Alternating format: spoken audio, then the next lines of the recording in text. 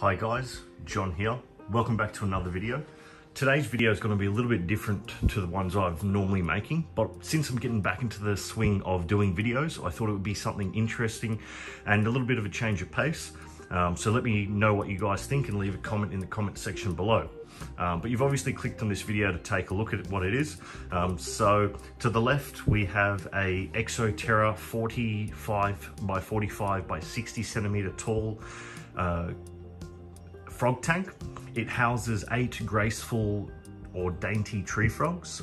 Now they are roughly around the five or just about five or so month age and uh, have been all cohabitating in a bioactive uh, terrarium or vivarium uh, for just over three months now. Now, uh, this is my weekly cleaning schedule, so it's really not very vigorous or uh, it doesn't take a lot of time, it takes me about 10, 15 minutes at max. Now, I have been letting things get a little bit out of hand in here in terms of I haven't been picking up any dead leaves and stuff, but being that it is bioactive, you don't really need to do that, but it looks a little unsightly, and today I'm gonna be taking those ones out. Um, so for the gist of things, before I um, do the time-lapse video, um, I'll uh, take the uh, phone off the tripod and I'll show you some of the things that I do uh, before I do it.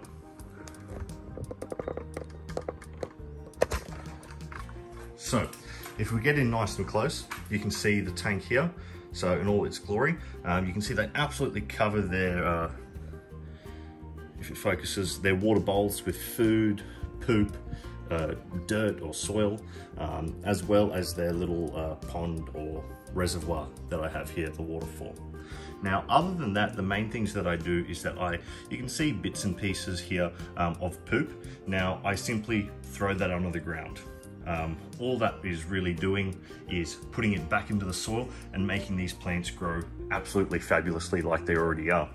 Other than that, I give the glass a wipe down and I cut off dead leaves and either throw them on the ground, bury them, or take them out completely. And that's basically it. So I'll get into that video. Uh, I'll get into the time-lapse video of it. So I'll put a bit of music behind so you guys can have a bit of a listen and just enjoy and watch back. But before I do that, I'll get in and have a bit of a close-up shot of the frogs since we don't often get to see them. So if we can see in there, a little bit hard to see. That's a real good shot. Going in the back. Real personable little guys. Got to move this guy out. That's one thing with these tanks, they do like to hug the corners. All right, lovely. Well, I'll pause this now and we'll get on the time lapse.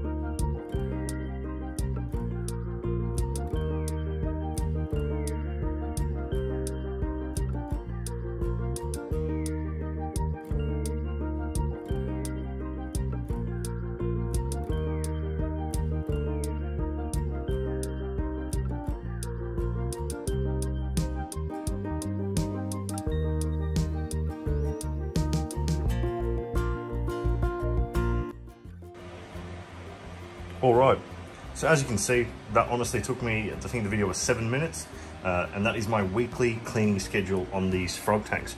You can see, cleaned off all the leaves, nothing too fancy there. Uh, pulled out some of the dead ones, cleaned off the poop off some of them, refilled all their water bowls, and uh, cleaned everything. So it's really simple.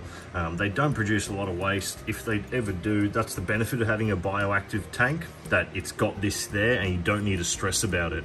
That, that beneficial bacteria is constantly breaking down the waste and producing more nutrients for these awesome plants to grow. I mean, look at the color of these guys. They have just been doing so well and I've been really happy with the growth of them. So I hope you enjoyed the video. Um, that's gonna be it for today. Uh, leave a comment in the comment section below of what videos you'd like to see next and I'll hopefully do some more uh, enclosure videos of the snakes. I'm thinking about uh, converting this one to the same perches as that. Uh, and uh, let me know if you guys would like to see how I made those perches uh, removable. So that, that'll be really cool for the snakes. So hope you guys enjoy and we'll see you in the next video.